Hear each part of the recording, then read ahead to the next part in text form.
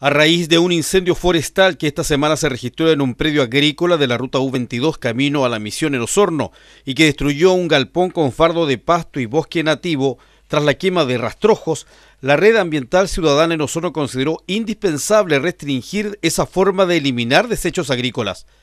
El presidente de la entidad, Ricardo Becerra Nostroza, señaló hay noticias que, aparte de provocar daños materiales, genera alto índice de contaminación del aire, escasa visibilidad a los conductores y a los peatones que transitan en el lugar donde se están efectuando dichas quemas. Esta quema de rastrojos trae una serie de implicancias bastante negativas.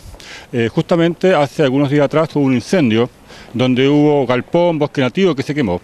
Pero además de eso también estamos nosotros denunciando que siempre cuando se realiza este tipo de quema hay una alta contaminación atmosférica.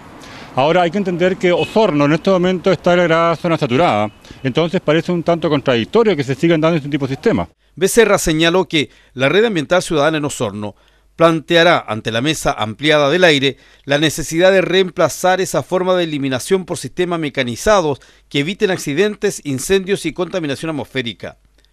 Dentro de las alternativas, señala Becerra, existen equipos reincorporados que cortan el desecho, la tritura y la coloca nuevamente en el suelo, realizando así un proceso de reciclaje. Como realmente al ciudadano Osorno vamos a colocar en la mesa política y técnica de la región este tema, con respecto a que paulatinamente se vaya reemplazando el sistema de quema rastrojo por un sistema más moderno, más acorde a nuestros tiempos. Incluso ya existe una tecnología bastante confiable justamente para realizar este tipo de actividades agrícolas.